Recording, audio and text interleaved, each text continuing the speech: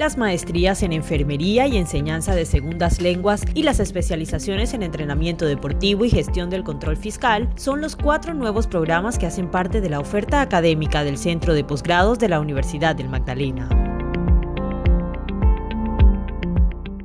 La maestría en enfermería es un programa de investigación que tiene unos rasgos distintivos. El trabajo en enfermería transcultural o la etnoculturalidad, así como también la innovación en el cuidado y todo lo relacionado con cuidado humanizado. Este programa de de posgrado pretende básicamente generar a los profesionales de las ciencias económicas y administrativas conocimientos mucho más apropiados para el manejo de los recursos públicos. Esta es la primera especialización en entrenamiento deportivo que hay en la Universidad del Magdalena. Y bueno, tenemos una, una gran misión para llevar y especializar y formar en toda la expertise y la especificidad del entrenamiento deportivo. En siete años, la oferta posgradual pasó de 6 a 54 unidades académicas, un logro destacado por el máximo directivo de la institución, quien además resaltó el trabajo en diferentes estrategias en materia de costos para hacer más asequible el acceso a una formación avanzada, sobre todo para nuestros graduados. Creo que es un crecimiento significativo en la oferta, tanto a nivel de